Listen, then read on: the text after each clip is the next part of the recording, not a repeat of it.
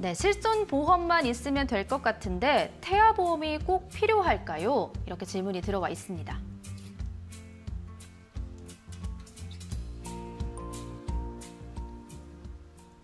어, 태아보험 이제 임신 초기에 임신 임신부들이 많이 갖고 있는 고민인 것 같습니다. 어, 이은희 선생님께 여쭤보도록 할게요. 태아보험 꼭 필요한 보험일까요?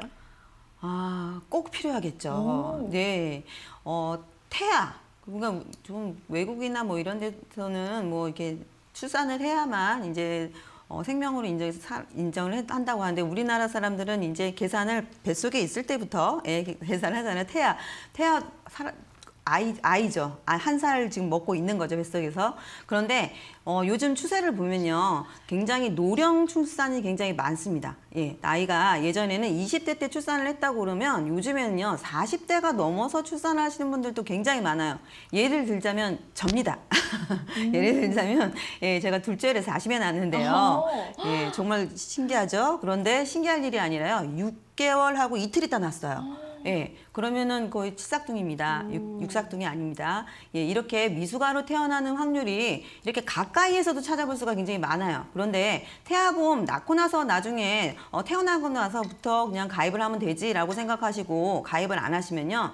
이렇게 어, 미숙아 출산율이라든지 이런 나이가 들면서 노년 출산율이 많기 때문에 아이가 좀 걱정되게 태어나는 부분들이 굉장히 많습니다. 이 표를 보시면요. 뭐 2.5kg 미만 저체중아부터 시작해서 이른둥이들 1.5kg 미만 아이들까지 굉장히 많은 아이들이 이렇게 태어나게 되면 어, 아이들이 작게만 태어나는 것이 아니라요.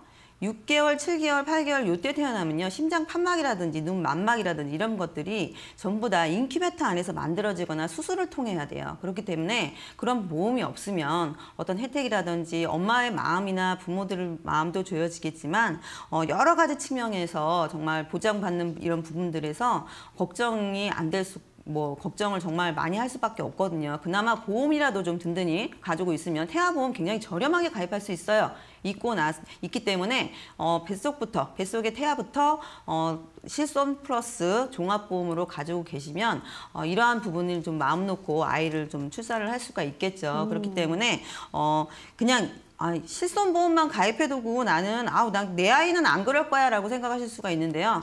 아, 제 아이는 그럴 줄 알았겠습니까? 저도 6개월, 6, 6개월하고 이틀 만에 아이가 예, 나왔는데 처음에 태어났을 때 730g이었어요. 예, 1kg 미만 저 어, 정말 초미숙아로 태어났었는데 지금 잘 성장해서 잘 크고 있습니다만 이렇게 어, 주변에서도 쉽게 볼 수 있는 일들이고 또 나이가 이렇게 들수록 출산율이 이렇게 어, 출산을 좀 늦게 하는 추세다 보니까 제가 볼 때는 어, 실손 보험만 하시는 것보다는 좀 저렴한 작게나마 어, 태아 보험으로 가입을 해 두시는 게 꼭 권해드리고 싶네요.